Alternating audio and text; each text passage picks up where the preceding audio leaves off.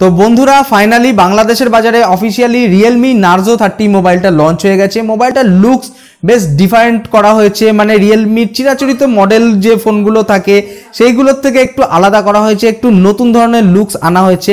মোবাইলটি বাংলাদেশের বাজারে সবে অফিসিয়ালি লঞ্চ হলো। তো ফোনটা কেমন হবে আপনাদের জন্য? ফোনটার দাম কত? এতে কি ফিচার স্পেসিফিকেশন আপনারা পাচ্ছেন?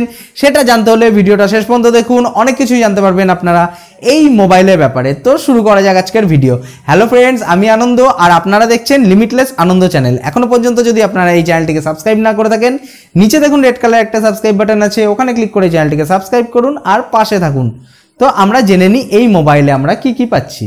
তো এই মোবাইলে আমরা পেয়ে যাচ্ছি ছয় পয়েন্ট পাঁচ inch full HD plus punch hole display মানে আমরা এই মোবাইলে বেশ বড় সাইজের ডিসপ্লে পাচ্ছি এবং ফুল এইচডি প্লাস ডিসপ্লে হওয়ার জন্য এই মোবাইলে ভিডিও ভিউইং এক্সপিরিয়েন্সটা কিন্তু যথেষ্টই ভালো হবে।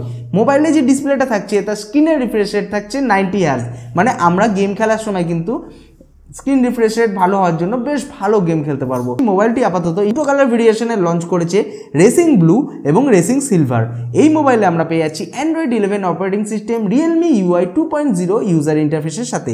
মোবাইলটির থিকনেস হচ্ছে নয় পয়েন্ট চার মিলিমিটার এবং এর ওজন হচ্ছে একশো বিরানব্বই গ্রাম মতো।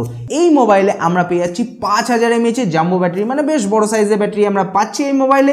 এর সাথে thirty watt fast charging support পাচ্ছি এই মোবাইলে মানে ফোনটাকে যথেষ্টই তাড়াতাড়ি আমরা চার্জ করতে পারব। এবং এতে যে চার্জিং কানেক্টরটা থাকছে, সেটা ইউএসবি টাইপ সি সিকিউরিটির দিক থেকে দেখতে গেলে এই মোবাইলে আমরা পেয়ে যাচ্ছি সাইড মাউন্টেড ফিঙ্গারপ্রিন্ট স্ক্যানার এবং ফেস আনলকের ফেসিলিটি আমরা যদি মোবাইলের ক্যামেরার দিকে চলে আসি, তো এই মোবাইলের রেয়ার সাইডে আমরা পেয়ে যাচ্ছি আটচল্লিশ মেগাপিক্সেলের ট্রিপল ক্যামেরা প্রাইমারি যে ক্যামেরাটা থাকছে, সেটা আটচল্লিশ মেগাপিক্সেলের যার অ্যাপারচার হচ্ছে এফ ওয়ান পয়েন্ট এইট এরপরে আমরা একটা দুই মেগাপিক্সেলের ব্ল্যাক অ্যান্ড হোয়াইট লেন্স পেয়ে যাচ্ছি। তারপর দুই মেগাপিক্সেলের একটা ম্যাক্রো লেন্স থাকছে এবং এই মোবাইলের ফ্রন্টে আমরা পেয়ে যাচ্ছি ষোলো মেগাপিক্সেলের সেলফি ক্যামেরা যেটাতে Sony IMX four seventy one সেন্সারটা use করা হয়েছে। এই মোবাইলে আমরা মোটামুটি এর বাজেটের দিকে দেখলে বেশ ভালো ক্যামেরা পাচ্ছি।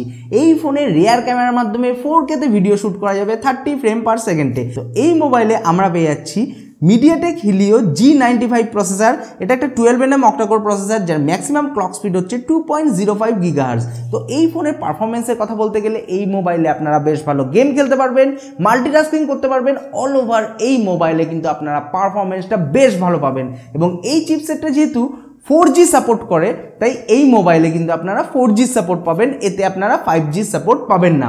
বাংলাদেশের বাজারে অফিসিয়ালি মোবাইলটা একটা স্টোরেজ এবং র্যামের ভেরিয়েন্টের সাথে লঞ্চ হয়েছে। এতে থাকছে ছয় জিবি র্যাম একশো আঠাশ জিবি ইন্টারনাল স্টোরেজ এতে যে র্যামের টেকনোলজিটা ইউজ করা হয়েছে, সেটা এলপি ডিডিআর ফোর এক্স এবং এই মোবাইলে আমরা UFS two point one storage type পেয়ে যাচ্ছি। এছাড়াও এই মোবাইলে আমরা dedicated micro SD card slot পাচ্ছি, তার মানে একসঙ্গে দুটো সিমের পাশাপাশি একটা মেমোরি কার্ড আমরা ইজিলি সেট করতে পারব মোবাইলটাতে বাংলাদেশের বাজারে অফিসিয়ালি মোবাইলটার বাজার মূল্য হচ্ছে মাত্র উনিশ হাজার নশো নব্বই বাংলাদেশি টাকার কাছাকাছি।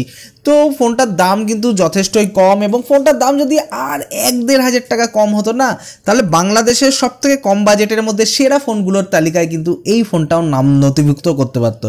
তো দামটা হাজার টাকার মতো কম হলে একদম পারফেক্ট মানে বাজার কাঁপানো ফোন বলতেই পারতাম এই ফোনটাকে। তো ফোনটার ব্যাপারে আপনাদের কি ধারণা, আপনাদের কি মতামত, অতি অবশ্যই আমাকে কমেন্ট করে জানাবেন। তো আশা করি এই ভিডিওটা আপনাদের ভালো লেগেছে। ভিডিওটা ভালো লেগে থাকলে অতি অবশ্যই ভিডিওটাকে লাইক করুন, নিজের বন্ধুদের সঙ্গে শেয়ার করুন। পরবর্তী ভিডিওতে আবার দেখা হবে। বাই